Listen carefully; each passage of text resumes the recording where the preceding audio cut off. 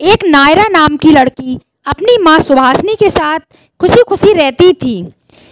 पर कुछ ही दिनों में उसकी माँ थोड़ी सी चिड़चिड़ी हो, रही थी। हमेशा उससे लड़ती झगड़ती रहती थी।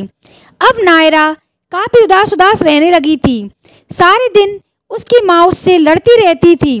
तभी एक दिन नायरा कहती है अरे माँ तुम सारे दिन मुझसे लड़ती रहती हो। क्या हो गया है तुम्हें? माँ, आपको क्या हो गया है? आप चाहती नहीं है कि मैं आपके साथ रहूँ। आप मुझसे हमेशा लड़ती झगड़ती ही रहती हैं। मैं यहाँ से जा रही हूँ और वह घर छोड़कर दूसरी जगह चली जाती है। तब एक दिन नायरा होटल में खाना खा रही होती है। तभी वह उसको याद आता है कि, अरे, मैं तो पैसे घर पर ही भूल आई। तभी वह होटल के मैनेजर से कहती है, अरे, मेरे पास पैसे नहीं हैं। मैं तुमको अगली बार दे दूँगी। तभी वह कहता है अरे पैसे नहीं है तुम्हारे पास तो तुम बर्तन धोने के लिए तैयार हो जाओ। तभी वहाँ पर एक कार्तिक नाम का लड़का यह सब देख रहा होता है और वह उनके पास आकर उनका बिल चुका देता है। और तभी धीरे धीरे नायरा और कार्तिक में दोस्ती हो जाती है। अब वह कई जगह मिलते रहते हैं। उनमें ऐसे ही धीरे धीरे प्यार हो जाता है। एक दिन नायरा अपनी माँ सुभाषनी से कार्तिक को मिलवाने जाती है। अब जब वह अपनी माँ से मिलवाने ले जाती है, तब उसकी माँ गुस्सा होने लगती है और कहती है हाँ इस मामूली लड़के से मैं तुम्हारी शादी करवाऊँगी। कभी नहीं। और तभी वहाँ से नायरा चली जाती है और नायरा और कार्तिक दोनों एक मंदिर में शादी कर लेते हैं। अब वह अपने दोनों खुशी खुशी रहने लगते हैं। कई दिनों बाद उनके दो जुड़वा बेटियाँ पैदा होती हैं, जिनका नाम वह अंशु और मीरा रखती है। वह दोनों अपनी माँ जैसी बहुत ही खूबसूरत बेटियाँ होती हैं। तभी कुछ दिन ऐसे ही बीत जाते हैं और एक दिन सुभाषनी उनसे मिलने आती है। तभी वह कहती है, अरे, ये लड़कियाँ तो बहुत सुंदर हैं, बिल्कुल मेरी बेटी जैसी, पर ये कार्तिक बिल्कुल अच्छा नहीं दिखता। और ना मुझे ये पसंद है। मैं ऐसा करती हूँ कि नायरा के जाने के बाद मैं इन सबको मार देती हूँ। तभी वह नायरा चली जाती है वहाँ से। उसके बाद वह कार्तिक से कहती है, बेटा, मैं इन बच्चियों के लिए कुछ लेकर आई हूँ। चलो मेरे साथ, मैं यह देना चाहती हूँ। तभी वह उनको ले जाती है और वहाँ पर एक गुफा में उनको बंद कर देती है। तभी वहाँ पर एक चुड़ैल होती है और चुड़ैल उनको जैसे ही मारने वाली होती है, तभी वह लड़कियाँ जादू से बड़ी हो जाती हैं और अपनी तुरंत ही बदला ले लेती हैं और अपने पापा को घर ले आती हैं। तभी वह अपनी माँ को पूरी बात बताती हैं। और सब लोग पहले जैसे खुशी खुशी रहने लगते हैं। गोपी नाम की लड़की अपने पति अहम और अपनी सास कोकिला के साथ रहती है। वह सब बहुत खुशी खुशी रहते हैं। अभी गोपी की शादी को कुछ ही दिन हुए थे।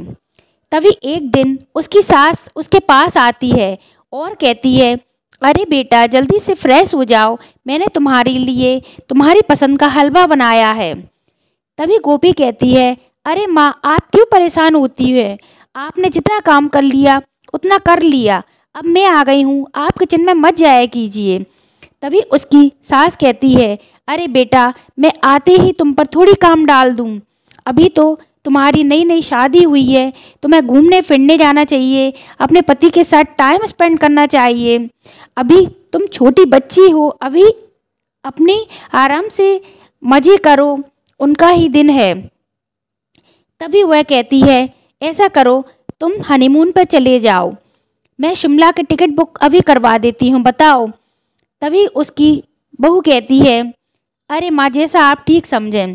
तभी एम कहने लगता है, अरे आप तो ऐसी लग रही हो जैसे माँ बेटी बात कर रही हैं। सास बहू वाला तो कोई बात ही नहीं है।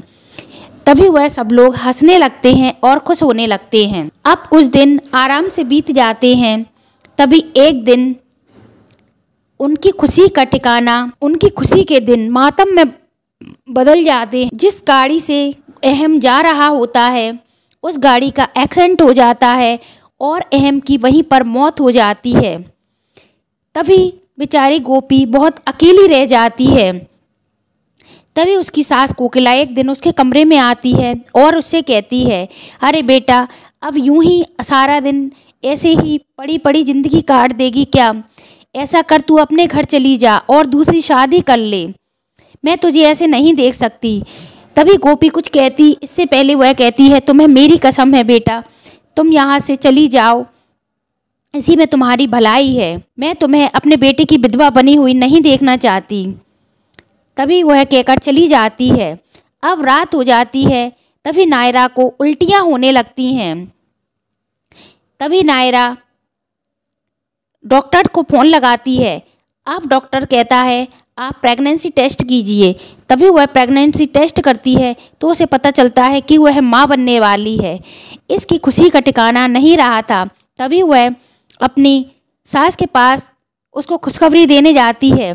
तभी उसकी सास कोकिला किसी से फ़ोन पर बात कर रही होती है। अरे, अपने बेटे के कार के ब्रेक फेल तो मैंने ही करवाए थे। हाँ अरे उस सौतेले बेटे का मैं क्या करूँगी? उसकी जायदाद लेने के लिए तो मैंने उसे इतना बड़ा किया था। और मैं उस गोपी को भी टिकाने लगा दूँगी। तभी यह सब गोपी सुन लेती है और उससे कहती है अरे तो तुमने मेरे पति को मरवाया है। अब मैं तुम्हें नहीं छोड़ूँगी। मैं अभी पुलिस के पास जाती हूँ। तभी कोकला उसको पकड़ लेती है और एक कमरे में बंद कर देती है और कहती है अब तूने बहुत जी लिया। अब तेरे मौत के दिन आ गए। और अपने भाई को फ़ोन लगाती है, अरे, मैंने उस गोपी को कमरे में बंद कर दिया है, तुम जल्दी आ जाओ, हम उसको ठिकाने लगा देंगे। तभी गोपी खिड़की से कूद कर भाग जाती है और जाकर पुलिस में जाती है। तब वहाँ देखती है कि पुलिस बात कर रही होती है। अरे, आपकी बहू के बारे में आपने बताया है, आने दो से जैसे ही आएगी, मैं उसका और उसके बच्चे को दोनों को ठिकाने लगा दूँगी। बस आप मेरा हिस्सा याद रखना। और यह सब सुनकर गोपी भाग जाती है। अब वह मेहनत मजदूरी कर कर अपना पेट पालती है। कुछ दिन ऐसे ही बीत जाते हैं और वह एक बच्ची की माँ बन जाती है, जिसका नाम वह विद्या रखती है। अब दोनों माँ बेटी अपना मजदूरी करके पेट पालती हैं। अब उसकी बेटी कुछ बड़ी हो गई होती है। तभी एक दिन उस फैक्ट्री का मालिक आ जाता है, जिसमें गोपी काम करती थी। अब वह कहता है, अरे, कोई कोकला नाम की औरत आई थी और तुम्हारे बारे में पूछ रही थी गोपी, पर मैंने उसको तुम्हारे बारे में नहीं बताया। अब तुम ऐसा करो, यहाँ से विदेश भाग जाओ। और तभी दोनों माँ बेटी वहाँ से विदेश भाग जाती हैं। अब वह भागकर जापान चली जाती हैं। अब वहाँ पर वह घूम रही होती हैं, तभी उसकी बेटी कहती है, माँ, हमें, मुझे बहुत जोरों की भूख लग रही है। कहती है ठीक है बेटा, मैं कुछ करती हूँ। तभी एक आदमी सामने से आ रहा होता है। अब उसकी बेटी कहती है, अरे देखो, कोई अंकल आ रहे हैं। आप उनसे कुछ मांग लीजिए, माँ।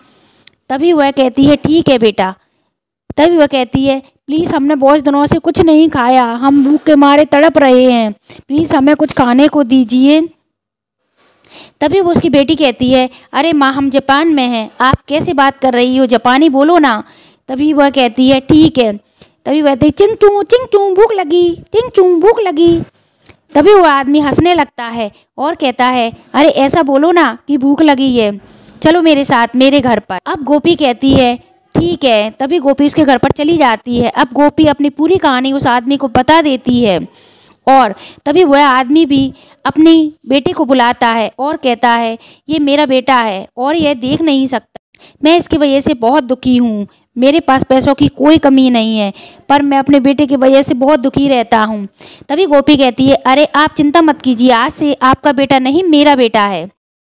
गोपी अक्षु और कायरब का बहुत ख्याल रखती है और उनको प्यार से अपने बच्चे की तरह पालती है।